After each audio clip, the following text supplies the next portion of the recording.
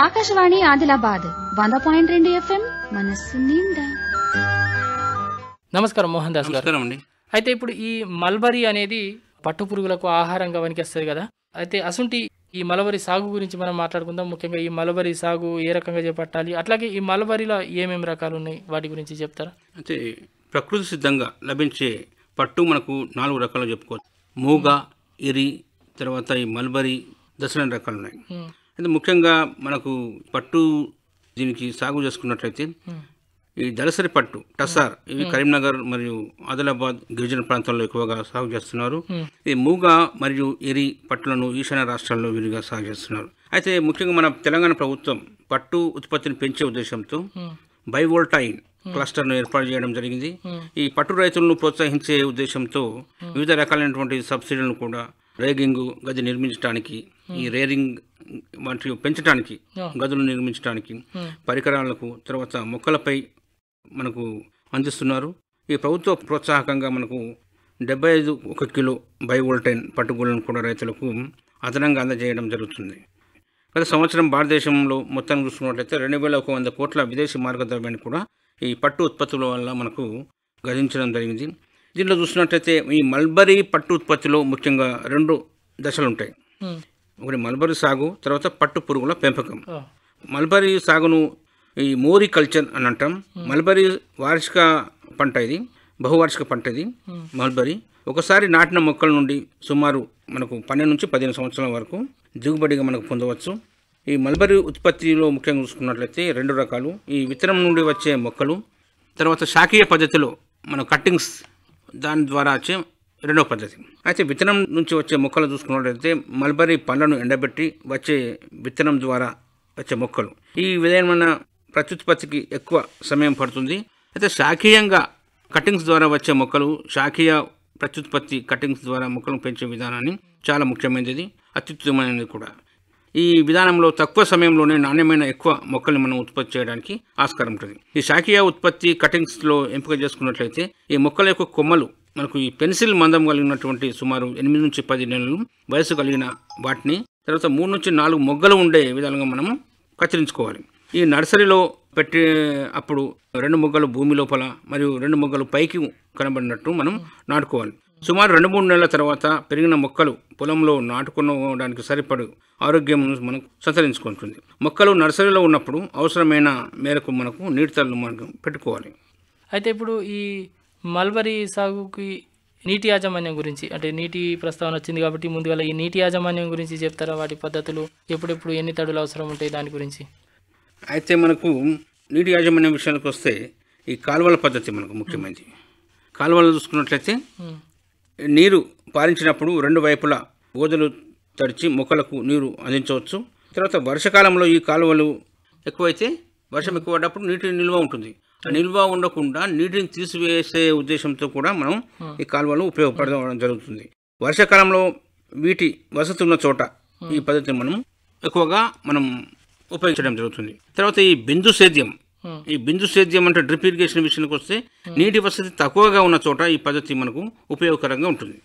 మొదటి ఖర్చు ఎక్కువైన నీటి ఎద్దడి ప్రాంతాల్లో బహుళ ప్రయోజనకారిగా ఉంటుంది. ఈ డ్రమ్ కిట్ సాంకేతిక విధానంలో చూసుకున్నట్టయితే కరువు ప్రాంతాల్లో నీటి పారుదల లేని సమయంలో మలబడి తోటల్లో ఈ సమగ్రమైన ఆకు దిగుబడిని మనం పొందడానికి ఆస్కారం ఉంటుంది. ఈ సమగ్రమైన ఆకు దిగుబడి పొందడం కాకుండా తక్కువ వ్యయంతో నిర్వహించే సూక్ష్మ నీటి ఈ పారుదల సాంకేతిక విధానాన్ని డ్రమ్ కిట్ సాంకేతిక విధానం మనం అంటాం.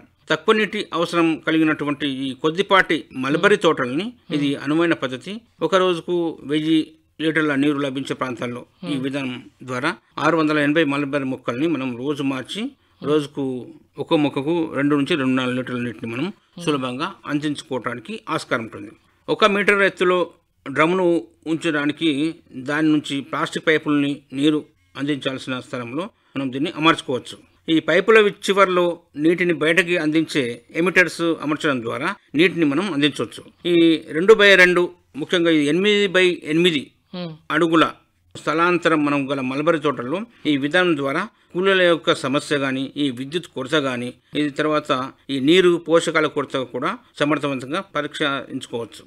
ఈ నేలల్లో తేమ శాతం పూర్తి సామర్థ్యం కొద్దిగా ఉండడం వల్ల పంట యొక్క ఈ ఎదుగుదల దిగుబడి కూడా అధికంగా ఉండటానికి ఆస్కారం ఉంటుంది. తర్వాత ఈ భూసార పరిరక్షణలో చూసుకున్నట్లయితే పశువుల ఎరువు ఎనిమిది టన్నులు ఒక ఎకరానికి సుమారుగా మనకు ఆరు ట్రాక్టర్లు మనకు అవసరం ఉంటుంది. సంవత్సరానికి నాలుగు విడతలుగా మనం వేసుకోవాలి. అదే చౌకి తోట అయితే పదహారు టన్నులు మనం వేసుకోవాలి. ఈ రసాయనిక ఎరువుల విషయానికి వస్తే మనకు నారు మొక్కలు నాటిన ముప్పై రోజుల తర్వాత ఎకరాకు నత్రజని ఈ భాస్వరం ఈ పొటాషియం మనకు ఇరవై ఇరవై కేజీలను మనం ఇవ్వడం బాగుంటుంది. నీటి వసతి ఉన్న చోట నత్రజని అయితే ఈ భాస్వరం నత్రజని తర్వాత పొటాష్ ఇవి ఒక వంద ఇరవై కిలోల నత్రజని తర్వాత నలభై ఎనిమిది కిలోల భాస్వరం నలభై ఎనిమిది కిలోల పొటాష్ అవసరం ఉంటుంది. మొదటిసారి ఆకు కోసిన తర్వాత ఈ ఇరవై నాలుగు కిలోల నత్రజని ఇరవై నాలుగు కిలోల భాస్వరం ఇరవై నాలుగు కిలోల పొటాష్ మనకు అవసరం ఉంటుంది. అయితే ఇప్పుడు ఈ పోషణ ద్రావణ పిచికారి గురించి చెప్తారా? మరి ఏ రకంగా పిచికారి చేయాలా పద్ధతుల గురించి? అయితే ఈ పోషణ ద్రావణం అంటే వివిధ రకాల పోషకాలు కలిగినటువంటి ఈ ద్రావణం. దీనిని మలబరి మొక్కలకు అవసరమున్న అవసరమైనటువంటి పోషకాలు సమతుల్యంలో అందుబాటులో మనకు ఉంటాయి. దీనిని మలబరి ఆకులపై పిచికారి చేయడం ద్వారా మలబరి ఆకు దిగుబడిని మనం పెంచుకోవడానికి ఆస్కారం ఉంటుంది. ఒక ఎకరా మల్బరీ తోటకు ఒక లీటర్ పోషన్ ద్రావణాన్ని మనం పిచికారి చేసుకోవచ్చు. అయితే మల్బరీ మొక్కలు ప్రూనింగ్ చేసిన ఒక ఇరవై నుంచి ముప్పై రోజుల్లో ఆకులు తరిచేలా మనం పిచికారి చేసుకోవాలి. కరువు ఎక్కువగా ఉండే ప్రాంతాల్లో మల్బరీ తోటలో తేమ ఒత్తిడికి మాత్రమే కాకుండా పోషకాల లోపం కూడా అధికంగా ఉంటుంది కాబట్టి పోషక ద్రావణాన్ని ఒక పంటకు ఒక పిచికారి మనం చేసుకున్నట్టయితే బాగా దిగుబడి రావడానికి ఆస్కారం ఉంటుంది. ఇది మల్బరీ మొక్కల సమాంతర ఎదుగుదలకు కానీ ఈ నాణ్యమైన పట్టుగుళ్ళ పొందటానికి కానీ ఉపయోగపడుతుంది. అయితే ఇప్పుడు ఈ మల్బరీ సాగులో అంతర పంటలు ఏమైనా సాగు చేయొచ్చా? చేస్తే ఏం పంటలు సాగు చేయాలి అంతర పంటలుగా? ఈ మల్బరీ సాగులో అంతర పంటల విషయానికి వస్తే మనకు ఈ పచ్చిరొట్ట పైరు లాంటివంటి అంతర పంటలుగా పెంచడం మంచిది.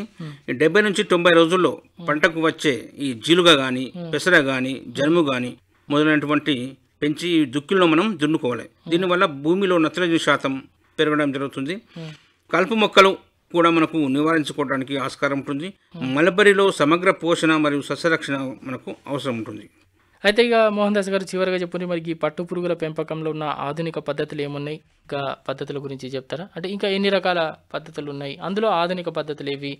వాటి గురించి. అయితే ఈ పట్టు పురుగుల పెంపకం విషయానికి వస్తే మల్బరీ తోటను రెండు మూడు విభాగాలుగా మనకు విభజించడం జరుగుతుంది. సంవత్సరానికి పది నుంచి పదకొండు పంటలు మనం తీసుకోవచ్చు. మల్బరీ రోగనిరోధక చర్యలు మనం డిస్ఇన్ఫెక్షన్ లాంటివి ప్రతి పంట తీసిన తర్వాత మరియు పంట పెట్టే ముందు విధిగా రోగ నిరోధక చర్యలు మనం చేపట్టాలి. దీంట్లో ముఖ్యంగా జీరో పాయింట్ రెండు శాతం సెరిఫిట్ ద్రావణం గత సంవత్సరంలో మార్కెట్లోకి వచ్చింది. రెండు నుంచి నాలుగు శాతం బ్లీచింగ్ పౌడర్ గల జీరో పాయింట్ మూడు శాతం సున్నపు పొడి ద్రావణం ఇది రెండు నుంచి ఐదు శాతం శానిటెక్ ద్రావణం జీరో పాయింట్ ఐదు శాతం సున్నపు పొడి ద్రావణం రెండు నుంచి ఐదు శాతం శక్తి ద్రావణం. మనం ఇంతవరకు చెప్పుకున్నటువంటి వివిధ ద్రావణాలతో ఈ డిస్ఇన్ఫెక్షన్ మనం మనము చేసుకోవచ్చు. దీనిలో రేరింగ్ చేయనప్పుడు గది వెలుపల చుట్టూ కూడా మూడు అడుగుల రెండు శాతం బ్లీచింగ్ పౌడర్ని కానీ తర్వాత జీ- పాయింట్ మూడు శాతం సున్నపు పొడితో కలిపి మూడు లేదా నాలుగు రోజులకు ఒకసారి చల్లుకోవాల్సింది ఈ పట్టుగుళ్ళు మనకు పొదిగించడం విషయానికి వస్తే మనకు ఈ పట్టుగుడ్లను ఇరవై ఐదు డిగ్రీల సెంటీగ్రేడ్ ఉష్ణోగ్రత ఎనభై నుంచి తొంభై శాతం తేమ కలిగిన వాతావరణం మనము కల్పించుకోవాలి. దాని తర్వాత బ్లాక్ బాక్సింగ్ చేసుకున్నట్లయితే ఈ గుడ్లపై ఈ చుక్కలు ఏడు నుంచి ఎనిమిది రోజులో వచ్చినటువంటి తర్వాత నల్ల ఈ బట్టను కప్పి వెలుతురు తగలకుండా కూడా ఈ ముప్పై ఆరు నుంచి నలభై ఎనిమిది గంటలు పాటు ఉంచి తొమ్మిది నుంచి పదవ రోజు ఈ సూర్యోదయాన్ని వెలుతురును చూపించి తొంభై నుంచి తొంభై ఐదు శాతం గుడ్లను వంటి ఒకేసారి పురుగులు బయటకు రావడానికి ఆస్కారం ఉంటుంది. ఈ చాకీ పురుగుల పెంపకంలో విషయానికి వస్తే మనకు మొదటి రెండు దశల యొక్క ఈ పురుగుల పెంపకానికి చాకీ ఈ రేరింగ్ అని అంటాం. ఈ దశలో పురుగులకు రోగ నిరోధక శక్తి చాలా తక్కువగా ఉంటుంది కాబట్టి ఈ దశలో పురుగులు అధిక ఉష్ణోగ్రత మరియు అధిక తేమ శాతం గల వాతావరణం పరిస్థితుల్లో ఈ ఆరోగ్యంగాను తర్వాత బలిష్టంగాను పెరగటానికి ఆస్కారం ఉంటాయి. మొదటి రెండు దశల్లో పురుగులకు చిన్న చిన్న చిన్న గదుల్లో ఇరవై ఏడు నుంచి ఈ ఇరవై ఎనిమిది డిగ్రీల సెంటీగ్రేడ్ ఉష్ణోగ్రతలో మనం ఎనభై ఐదు నుంచి తొంభై శాతం తేమ కల్పించాలి. ఈ పోషక విలువలు కలిగినటువంటి మంచి నవనవలాడే ఈ ఆకుల్ని మాత్రమే మనం ఒక నుంచి నాలుగవ ఆకు వరకు మనం చాకి పురుగులకు మనం మేపాలి. చాకీ పురుగులను చేసే ఈ ఆకుల్లో ఎనభై శాతం పైబడి తేమ శాతం ఉండేటట్లుగా మనం చూసుకోవాలి. ఈ పురుగులు జ్వరానికి వెళ్ళేటప్పుడు ఆఖరి మేత తర్వాత సున్నంని మనం బెడ్లపై చల్లినట్టయితే బెడ్ను పూర్తిగా మనకు పొడి పొడిగా ఉంచడానికి ఆస్కారం ఉంటుంది. అయితే ఆకులోని తేమను పీల్చి ఆరిపోయేలా ఇది చేస్తుంది. ఈ బెడ్ డిస్ఇన్ఫెక్షన్స్ చూసుకున్నట్టయితే ఈ శక్తి తర్వాత ఈ విజేత ఈ సంజీవని తర్వాత ఈ అంకుర్ సరిఫిట్ లాంటివి ఇవి డిస్ఇన్ఫెక్టెంట్స్ కాబట్టి ఈ పురుగుల జ్వరం నుంచి వచ్చిన తర్వాత ఆకు వేసేందుకు ఒక గంట ముందు చదరపు అడుగు స్థలంలో మూడు నుంచి ఐదు గ్రాముల యొక్క ఈ పౌడర్ను పలచని బట్టలో పురుగుల చర్మం తడిచేటట్టుగా మనం చల్లుకోవాలి. వంద గుడ్లకు మొదటి దశ పురుగులకు అరవై గ్రాముల మరియు రెండవ దశ పురుగులకు ఒక వంద ఇరవై గ్రాములు చల్లాలి. చల్లిన గంట తర్వాతకే ఈ ఆకును మనం వేసుకోవాలి. పట్టు పురుగులకు ఈ వచ్చే గ్రాసరీ మరియు ప్లాచరీ వ్యాధుల నుండి రక్షించుకోవడానికి ఈ అభయ పౌడర్ను మనం ద్రావకంగా మనం తయారు చేసుకొని ఆకుతో కలిపి పురుగులకు ఇవ్వాల్సి ఉంటుంది. ఈ మేత ద్వారా ఐదు గ్రాముల పొడిని ఒక లీటర్ నీటిలో కలిపి ఏడు వంద గుడ్లకు సరిపోవడం జరుగుతుంది. ఈ రెండు దఫాలుగా ఇది ఇచ్చుకోవాలి. ఈ మొదటి దఫా చూసుకున్నట్లయితే మొదటి దశలో రెండవ మేతగా రెండవ దఫా చూసుకున్నట్లయితే ఈ రెండవ దశలో రెండవ మేతగా కూడా మా- వాడుకోవాలి. రెండవ జ్వరంతో పురుగుల్ని పెంపక గృహంలోని ఈ పడకలపై కూడా చేర్చుకోవాలి. అయితే ఈ పెద్ద పురుగుల పెంపకానికి విషయానికి వస్తే ఈ మూడవ దశ నుండి ఐదవ దశ వరకు పురుగులను పెద్ద పురుగుల పెంపకం మనం అంటాం. ఈ దశలో పురుగుల్ని చేతు తాకకుండా కొమ్మ మేత పద్ధతిని అనుసరించి పురుగుల్ని పడకలపైకి మనం చేర్చుకోవడం జరుగుతుంది. ఈ కొమ్మ మేత పద్ధతి ద్వారా యాభై శాతం కూలీలను మనం ఇరవై శాతం ఆకులని మనం తగ్గించుకోవచ్చు. తక్కువ సార్లు పురుగులను తాకడం వల్ల వ్యాధులను మనం అరికట్టవచ్చు ఆకు కొమ్మ మీద ఉన్నందున ఎక్కువ సేపు వాడిపోకుండా నాణ్యతగా మనకు ఉండడం జరుగుతుంది.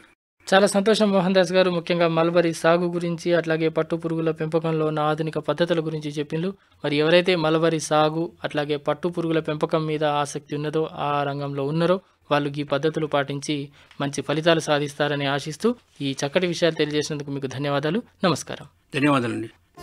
ఆకాశవాణి ఆదిలాబాద్ వంద పాయింట్ రెండు ఎఫ్ఎం మనస్సు నిండా.